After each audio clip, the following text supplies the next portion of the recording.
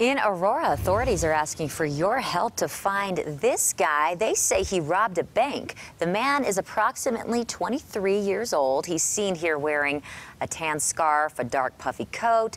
The photos are showing chin length hair, but police say that might be a wig. They say he robbed a Wells Fargo bank at 25th and Welton in Denver, where he got away with $2,200. Right now, there is a $2,000 reward if you can help identify this man.